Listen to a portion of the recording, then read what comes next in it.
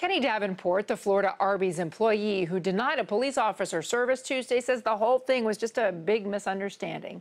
Pembroke Pines Police Sergeant Jennifer Martin pulled up to the drive through to place her order, and when she got to the window to pay, she says she was told by a manager that Davenport did not want to serve her because she was a police officer.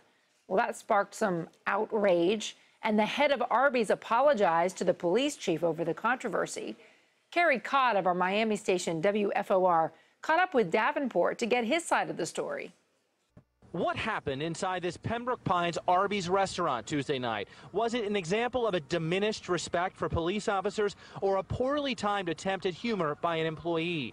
Kenny Davenport was working when Pembroke Pines Sergeant Jennifer Martin pulled up to the drive-through.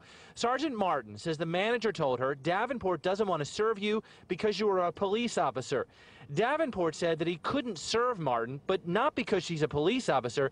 He said it was because he was so busy with other customers that he had to ask his manager for help. Davenport said that's when his manager made the unfortunate joke to Martin about not being able to take her order. No, we don't hate cops. We don't hate anybody. We're just trying to get people out of the drive-through. But Martin wrote in a report that she felt uncomfortable and that she was concerned her food was tainted.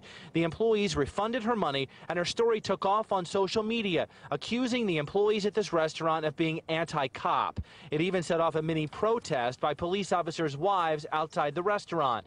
The Police Benevolent Association called for a nationwide boycott of Arby's and a demand for greater appreciation of officers. In August with 13 officers killed in, in, the United States, and nobody said anything about it. I, I think that the president needs to get to the podium and, and, say that this needs to stop.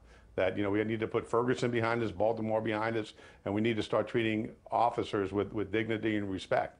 Officers' lives matter. Everybody's life matters. Kenny Davenport's grandfather says he has respect for the police. He believes the episode is being blown out of proportion and centered on a dumb joke gone awry. And somebody made a joke and she just didn't take it the right way. She didn't understand that they were joking. The police department says Arby's management apologized to the Pembroke Pines police chief and called the employee's behavior unacceptable. Arby's management said they would take appropriate disciplinary action against the employees if necessary. But Kenny Davenport maintains that neither he nor anyone else disrespected Sergeant Martin. There's no point in talking. Why not? Because I'm 19 and she's an officer. And I'm colored.